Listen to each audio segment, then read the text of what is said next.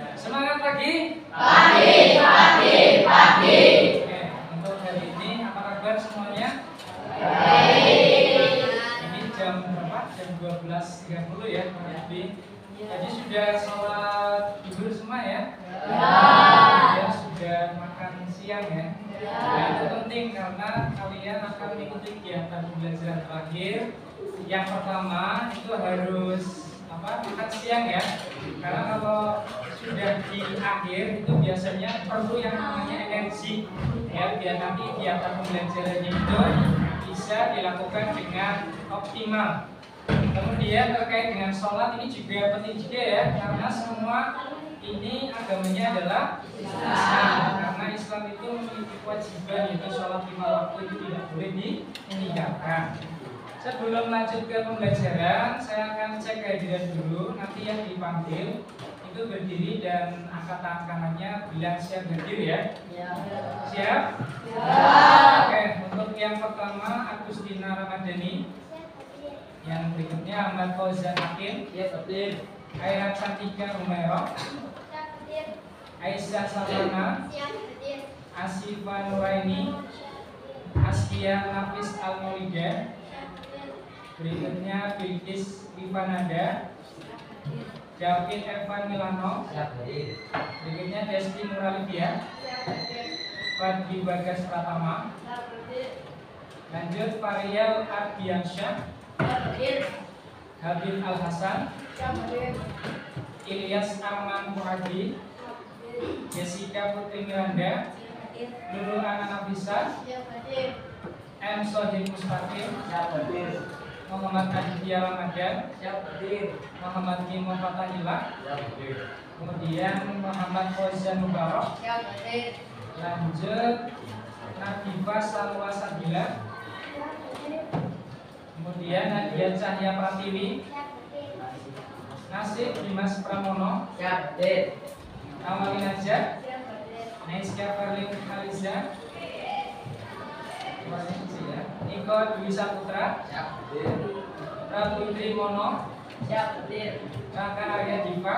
Siap, hadir. Rizky Saputra. Siap, hadir. Rizky Amalia Putri. Siap hadir. Satria Arya hadir. Oke, kemudian Tioni Ayu Lestari. Siap hadir. Yang terakhir Dewi Susanti. Siap Alhamdulillah hari ini semuanya hadir ya dalam kondisi sehat. Nah sekarang semua berdiri.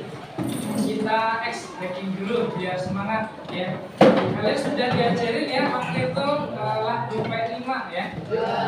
Nah sekarang kita nyanyi dulu, nyanyi nyanyi dulu biar ada suara dan ada semangat dalam mengikuti pelajaran. Siap ya? Kita mulai nyanyi hitungan mundur ya. 3, 2, 1, mulai. Belajar Pancasila, beriman dan bertakwa pada Tuhan Yang Esa dan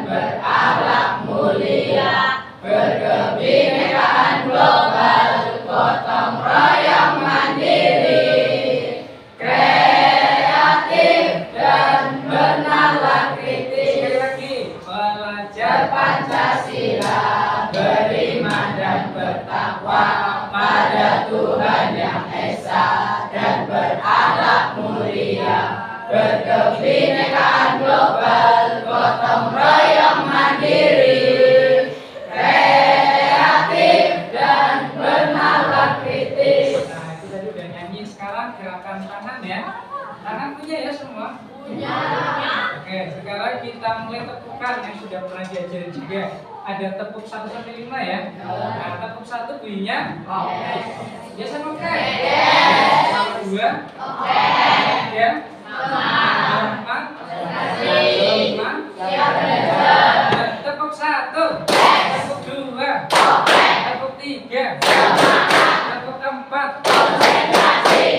Lima. Siap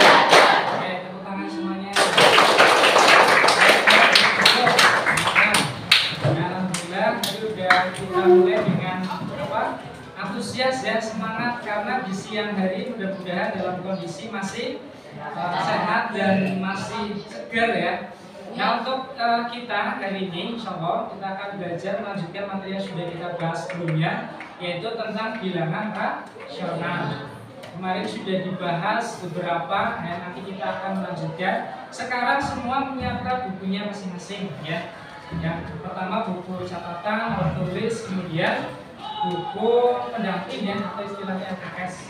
Nah untuk yang pertama ya kita akan jelaskan dulu. Nanti setelah dijelaskan kemudian ada yang kurang paham disampaikan ya. Nanti setelah dijelaskan kurang lebih 10 menit nanti kita membuat yang namanya kelompok. Karena ini total ada berapa orang?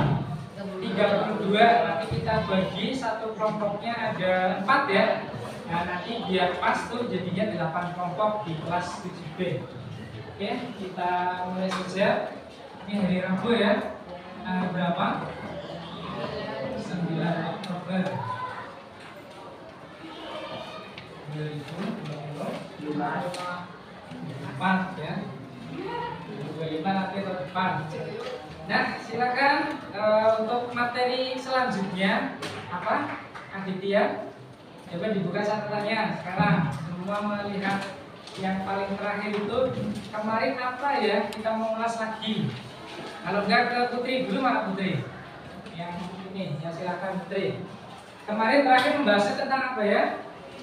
Operasi hitung bilangan rasional ya sudah ke penjumlahan sama pengurangan. Nah ini kita ulas kembali ya biar lebih memahami dengan baik. Yaitu apa? Operasi hitung bilangan rasional.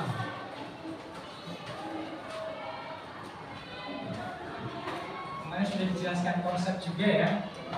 Coba saya tanya ke Sohib nih bahasanya apa? Kelihatan ya? Coba baca. Nah, oke, tapi kelihatan ya jelas ya. Nah, untuk yang kita akan bahas di sini, ya, yang pertama itu kaitannya dengan apa kemarin ada penjumlahan ya, penjumlahan pecahan. Nah, ini, ini yang pertama kali kemarin sudah dibahas ya. Kita ulas lagi untuk mengingat konsepnya saja. Ya, konsepnya kalau ada bisa di sini nilai A kita bagi dengan B, kemudian ditambah ya. Di sini C kita bagi dengan B, maka konsepnya apa ya? Coba bareng-bareng. Syaratnya apa? Syaratnya apa ini? Ya, penyebutnya harus penyebutnya harus sama. Kalau nggak sama berarti harus disamakan. Ini konsep yang pertama ya. Konsep yang kedua yaitu operasi apa ya? Setelah penjumlahan ada apa? Pengurangan. Nah, sekarang ke pengurangan. Di pengurangan pecahan ya, itu sama ya konsepnya dengan penjumlahan pecahan.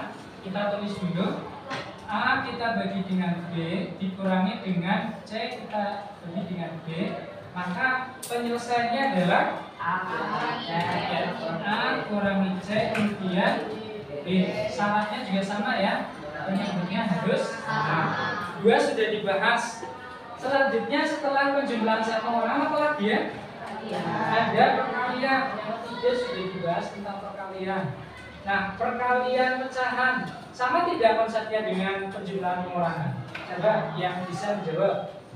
Untuk yang perkalian, perkalian pecahan. Ayo. Tidak harus. Siapa yang bisa? Angkat tangan. Bebas. Ayo jangan masuk ya nanti di kegiatan belajar ini kita akan buat biar lebih aktif dalam kegiatan belajar tidak ditunjuk langsung bisa angkat tangan sendiri berarti itu sudah menunjukkan sikap apa percaya diri mandiri ya nah sekarang siapa yang mau nih perkalian pecahan kalau ada konsepnya seperti ini. A kita bagi dengan B kemudian dikalikan dengan C kita bagi dengan D siapa yang bisa menjawab ini silakan. Ya boleh Fozan gimana Fozan di situ aja. Ya nggak usah maju saya aja yang nulis. Nanti majunya ketika diskusi kelompok apa nih? Ya.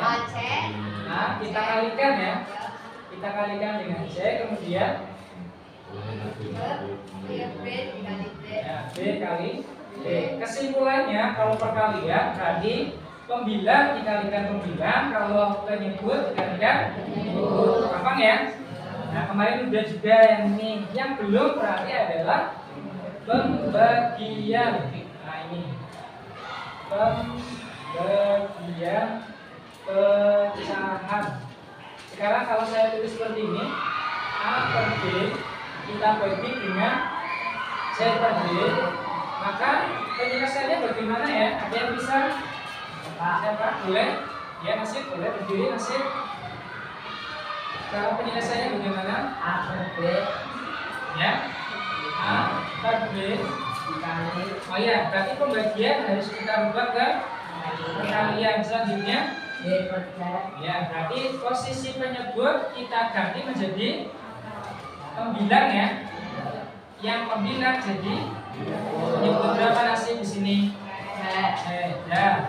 Untuk penjelasan singkatnya seperti ini konsep dari apa operasi hitung bilangan ra rasional. Ada pertanyaan? Silakan yang mau tanya. Cukup jelas? Kalau sudah cukup jelas, sekarang kita buat kelompok sudah siap? Ya silakan buat kelompok. Masing-masing ini aja. Gini ya caranya ya. Ini sudah duduk seperti ini. Coba kamu berdiri dulu berdua. Ya nanti kursinya dikeluarin. Nah kayak gitu. Digeser dulu. Ini masih duduk sih. Nanti yang lain nyontoh ya. Biar tidak buat yang ini terlalu lama. Nah itu nanti ke belakang mejanya ditempel. Ya yang lain ikutin silakan. Ya, yang lain ikutin. Saya kasih waktu 3 menit.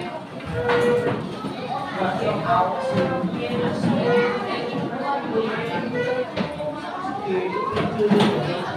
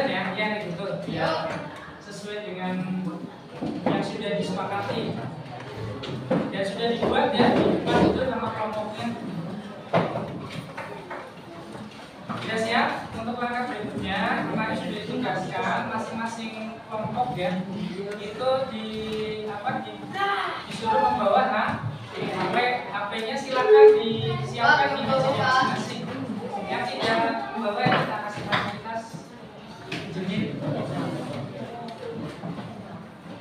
silakan nah kemudian kemarin sudah saya share buku ini ya pendamping ya terkait dengan materi yang akan dibahas hari ini. Ada di grup kelas 7B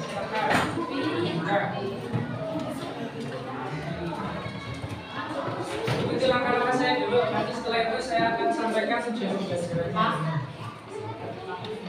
silakan kalian siapkan masing-masing kelompok sudah ada ya? Kecuali yang sebelah sana coba dilihatkan ini mana? Kartunya ada satu yang ini. Sudah ada yang satu satu. Yang tengah ada semua ya? Nah sekarang dibuka eh, yang grup kelas 7B sudah saya share yang oh, maaf dari tadi yang ada. Bukan yang hmm, ya saya kembali nah ini sudah masuk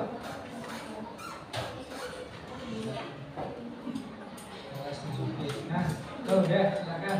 Pastikan punya kuota ya?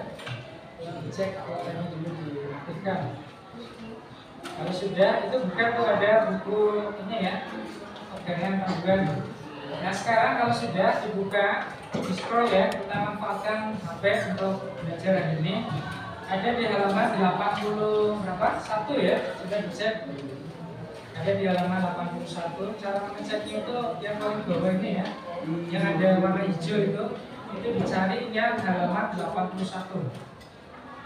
bisa? gimana? Tidak ada kuotanya yang kuotanya kelebihan barangkali bisa tetrik ini silakan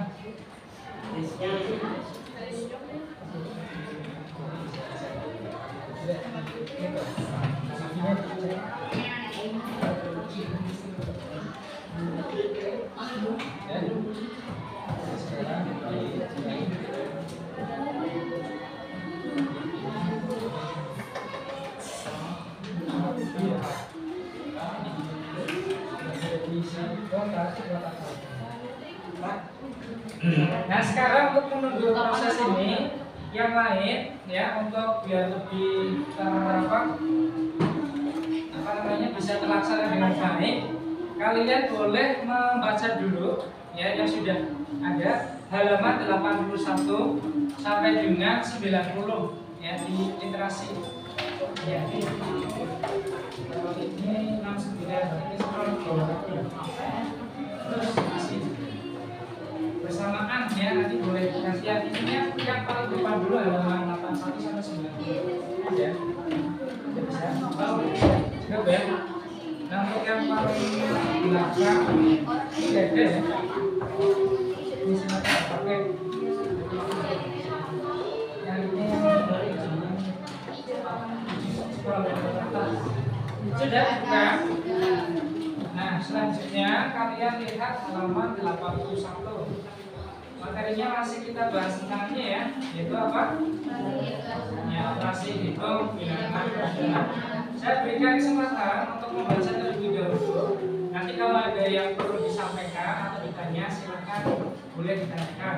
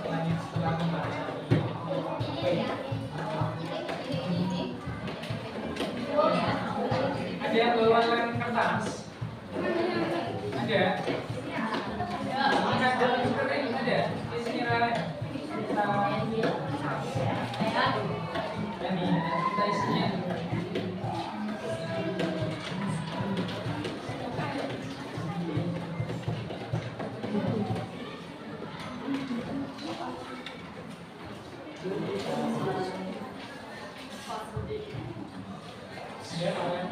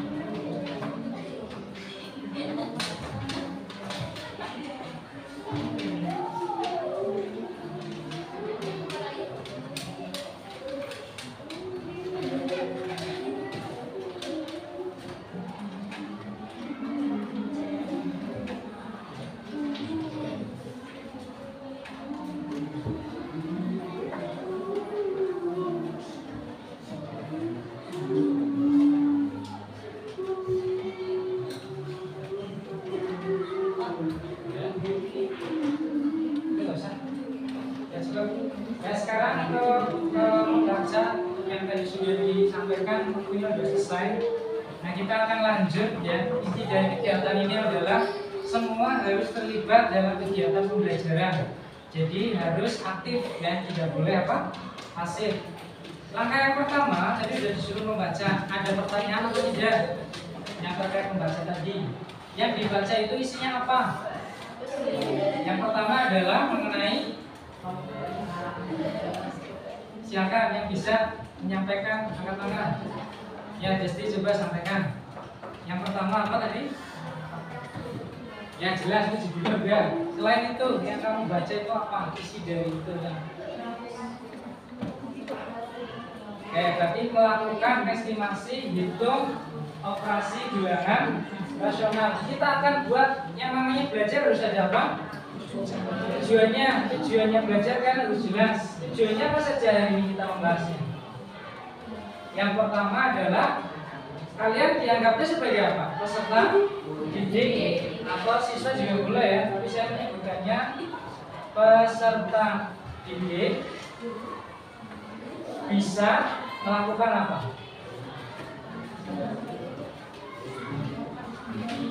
Lakukan operasi operasi apa? Ya, operasi hitung bilangan rasional. Ini yang kita akan apa? Cari tujuannya hitung bilangan. Waalaikumsalam. Ya, silakan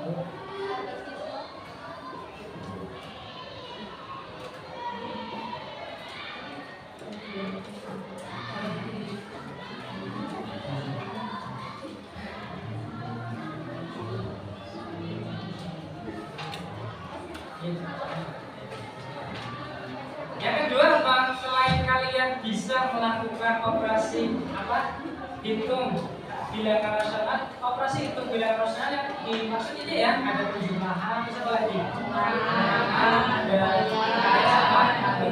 ada yang kedua berarti apa? Selain itu, coba yang bisa melihat pendapat tujuan belajar hari ini.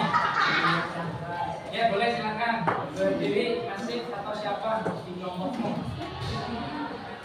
Karena berarti boleh. Mengucapkan masalah konsep kontekstual yang melibatkan diri profesional. Nah, terus berarti di sini nanti kalian disuruh atau lebih ke memecahkan ya tadi. Me- memecahkan berarti apa? Berarti menyelesaikan sebuah masalah ya.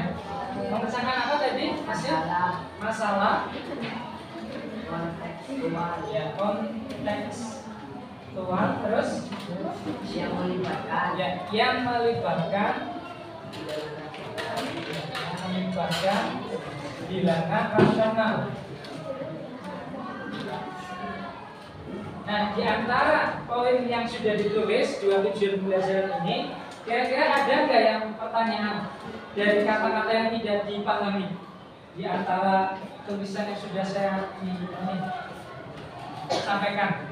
Kalau yang pertama bisa ya memahami dari kalimatnya. Kalau yang kedua memecahkan masalah.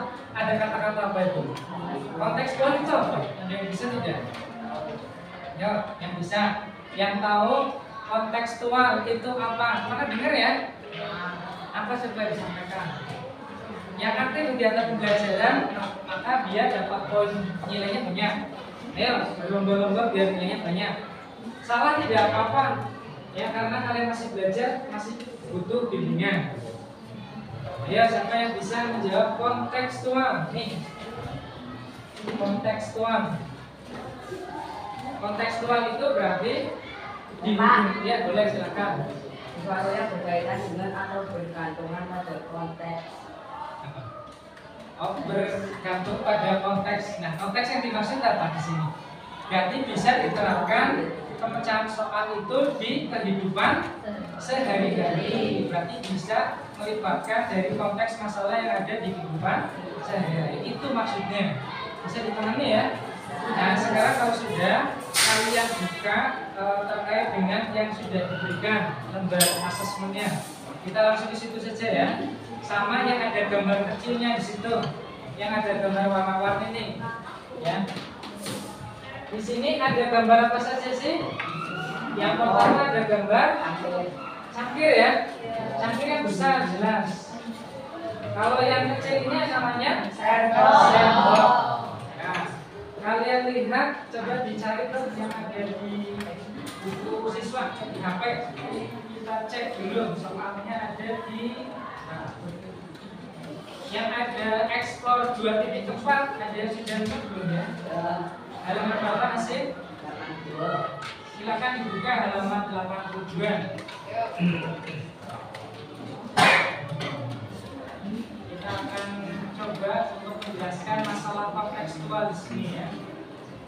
Nah, ini disajikan estimasi menggunakan pecahan. Saya minta di antara kalian membacakan eh, di sini saya minta apa yang tiduran Ozan silakan baca halaman 82 yang dari HP diberikan yang melakukan estimasi titik dan sebagainya. Silakan baca. Tidak ketemu dibantu eksplorasi didik melakukan estimasi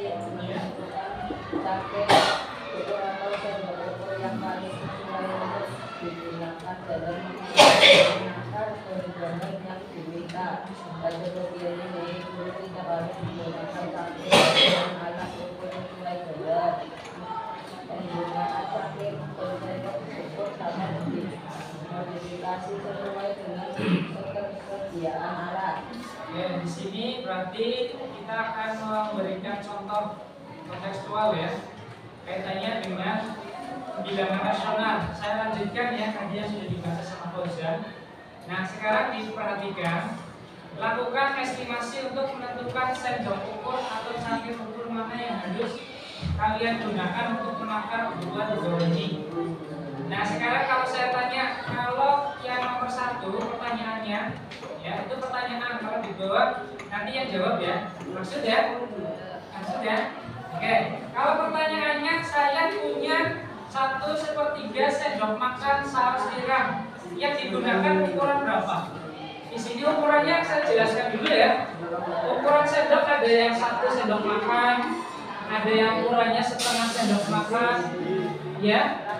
Ada dua berarti e, keterangannya. Kemudian yang cangkir juga satu cangkir, kemudian apa lagi? Setengah cangkir, sepertiga cangkir, sama seperempat cangkir. Kalau saya memberikan soal seperti ini, sepertiga sendok makan saus tiram menggunakannya sendok atau cangkir? Apa? Siapa yang bisa? Angkat tangannya. Ada di bawahnya itu tidak dibaca. Ayo, nanti berdiri ketuanya ini ayo. Harus siapa dia boleh Aisyah berdiri. Bisa menjawab. Apa? Sendoknya ukurannya berapa? Kalau di situ keterangannya satu sepertiga, apa? Sepertiga ya. Jadi saya mintanya satu per tiga sendok makan. Tulisannya SDM ya? Nah, makanya ya setengah sendok Kalau ini dirubah ke dalam bentuk apa ya? Bilangan desimal itu nilainya berapa ya? Ada yang bisa? Satu sepertiga itu nilainya berapa? Silakan. Hasil dari satu sepertiga kenapa milihnya setengah tadi ya? Setengah. Apa? Ya, nilainya adalah 0,33. Nah, kalau setengah desimalnya berapa sih? Kenapa kalian pilihnya setengah? Ini kan tadi pakainya setengah sendok makan ya. Nah, setengah itu nilai desimalnya berapa? Kita kaitkan dengan bilangan desimal. Apa yang bisa? Nanti di atas pembelajaran. Boleh kalian putih dulu. Ya, boleh. Berapa nilainya? 0,2 ada yang beda jawaban dari Putri 0,2 benar apa salah? Setengah itu nilainya adalah kata Putri 0,2 setuju apa tidak? Setuju. Karena kalian yang beda eh, jawaban Moro Gapit ya. 10 bagi 2 2 Nah, ya, ya boleh Rosa. Nah, yang benar adalah 0,5 masalah masalah ya yang penting aktif 0,5 ini sama dengan setengah. Ya tidak nah setengah. Kenapa milihnya setengah sendok makan? Karena ini di bawah 0,5 saya kasih contoh soal lagi. Kira-kira pakai cangkir apa sendok ya? Cangkir. Sabar dulu ya nah sekarang pertanyaannya kita lihat ya 9 per 10 cangkir kaldu itu menggunakan apa? Cangkir baru cangkir ya? Ya ukurannya berapa nanti eh, hasil? Satu cangkir. Satu? Alasannya apa? Kenapa milihnya satu cangkir? Karena Yang besar. 9 dibagi 10 itu mendekati angka Satu. Nah berarti untuk jawabannya tadi apa? Satu cangkir Untuk apa tadi ukurannya? 9 per 10 Eh, Cangkir apa tadi? Cepet jawab. Cangkir apa ya? Masih Cangkir. Ya, pertanyaannya 9 plus 10 cangkir apa? Cangkir kan? Kaldu. Nah, ya. Sekarang sudah cukup ya untuk penggunaan uh, bilangan rasional di apa, masalah kontekstual. Sekarang kalau sudah, ini kan sudah kita manfaatkan ya. Ini kita pakai media pembelajarannya pakai gambar ya, walaupun kita tidak membawa alat cangkir sama cendol. Sekarang lanjut ke tahap berikutnya yang paling terakhir. Nanti terakhir harus bisa semua kelompok menyimpulkan pembelajaran hari ini. Ya, ditulis pakai kertas kemudian disampaikan mewakili siapa yang diantarakan kemudian dipilih. Nah sekarang dilihat cetizennya. Untuk yang pertama asesmen penilaian, asesmen penilaian ini yang pertama bisa dilihat di buku pendamping kalian ada di halaman 36. Nah sekarang saya minta di antara kalian untuk yang pertama yang belum aktif ini adalah kelompoknya Jessica. Nah, dibaca untuk yang soal pertama. Siapa yang membaca? Ya, silakan berdiri deh. Nanti kalian. Ya, Pak. Ya. Soal pertama.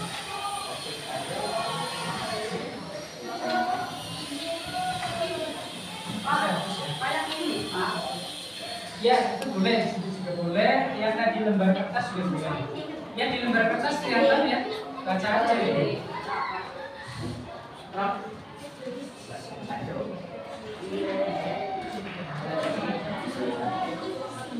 Setiap minggu ibu akan membagikan uang yang kepada ketiga anaknya.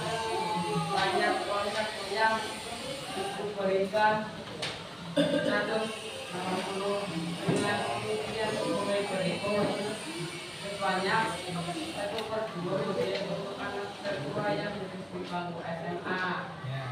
Yang ketiga bagian untuk anak kedua yang duduk di bangku SMP. Sedangkan sisanya untuk anak muda yang masih duduk di SD. Anak kedua tiga per sepuluh dari satu mingguannya. Kemudian tabungan berkumpul pernyataan satu lama Ya. Besar uang satu yang diterima anak kedua adalah Eh, pertanyaan pertama kita selesaikan bersama-sama. Nah, dia yang kelihatan lemes kita tanya ya. Ya. Cara me- menyelesaikannya bagaimana? Untuk soal yang pertama itu tadi ibu siapa ada namanya nggak? Ibu, oh, nggak ada nama ibunya ya. Ibunya kalian deh misal ya. Ibu ini mem- apa, memberikan membagi uang sakunya kepada tiga anak bisa eh, ini ya membayangkan ya ibu punya tiga anak nah di sini banyak uang saku ibu diberikan totalnya ada 180 ribu. Ya enggak? ya nilainya 180 ribu. Ini uangnya ibu ya? Punya anaknya berapa? anaknya ada tiga. Nah dia saya tanya anak pertama dapat uangnya berapa?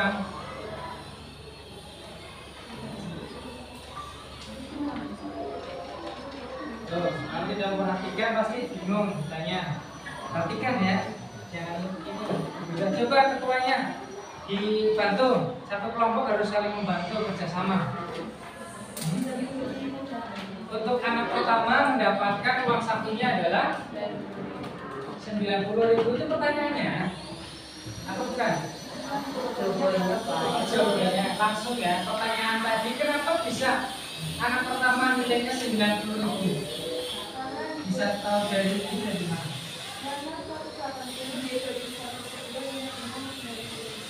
Nah di soal ada keterangan apa kata-katanya? Bilangan rasionalnya apa? Bukan. Nilai angkanya kenapa bisa jadi seperti ini baginya anak pertama? Ada keterangan apa di soal? Yang lain ayo dibantu. Ya boleh Rosa. Tadi yang dari Fioni kan bilang nilai dari 90 itu dari hasil pembagian. Nah, pembagian yang dimaksud di soal itu nilai bilangan rasionalnya itu berapa? Iya, di soal itu menyebutkan bilangan rasionalnya adalah satu per dua. Makanya, kenapa anak pertama dapat 90 ribu? Karena uang yang dipunyai ibu 180 ribu itu dikalikan dengan setengah atau satu per dua. Makanya anak pertama kebagian 90 ribu. Nah, sampai soal yang pertama, baru soal pertama. Kita lanjut soal yang kedua. Bacakan, Jessica. Ya, anak kedua dilihat keterangan soal. Keterangan soal itu berapa? Yang belum kelihatan aktif berarti apa ya? Nih yang di pojok sini. Lulu, ya silahkan lu. Cara menyelesaikannya bagaimana? Yuk, semua akan kebagian